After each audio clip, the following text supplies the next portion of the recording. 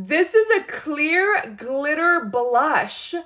A blush. Get over the fact that this is a blush. You just go ahead and swipe.